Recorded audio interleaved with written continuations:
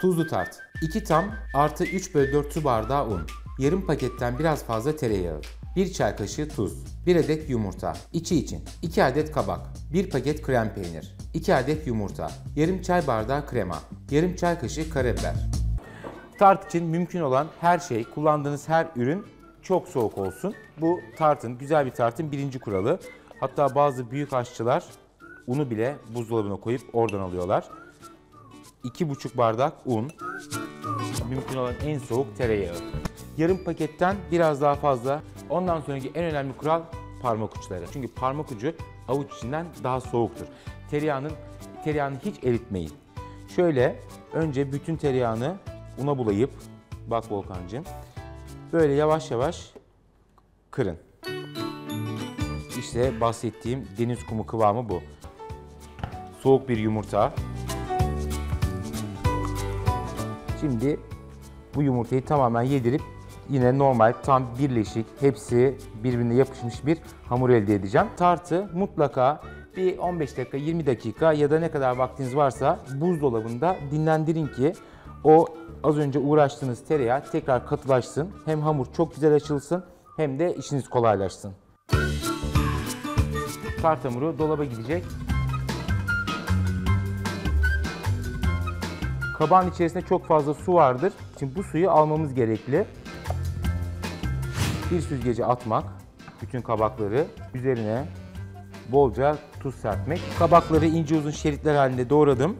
Bunları ben tart hamurunu açacağım. Tart hamuru pişene kadar tuzda bekleteceğim.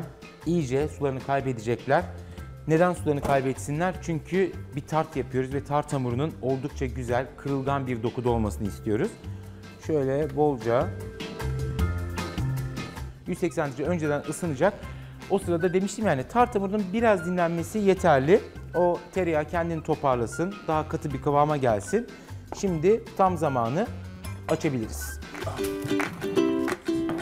Sen tort yapıyorsun ya. Ben de çok komik. Ben de tart yapıyorum. Aslında Türk ve Rus mutfak birbirine çok benziyorlar.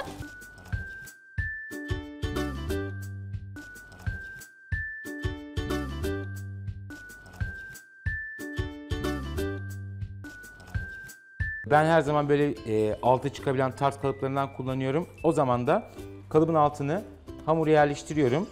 Kalıbın üstüne diğerini koyup şöyle ters çevirdiğim zaman neredeyse tamamlanmış oluyor.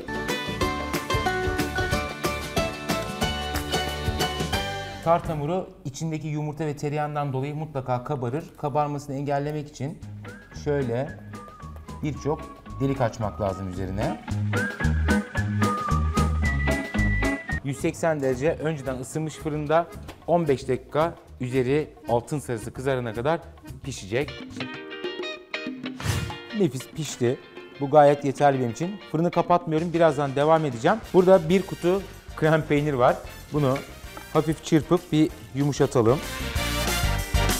Sonra içerisine iki tane yumurta, bir tutam tuz, biraz karabiber, biraz krema çok fazla değil, yarım çay bardağı kadar. Doğrudan tart hamurunun üzerine döküyorum bunu. Bir tane temiz ve kuru bir bez. Kabakların suyunu tamamen almak lazım. Bir köşe seçin kendinize ve o köşeden yavaş yavaş dizmeye başlayın.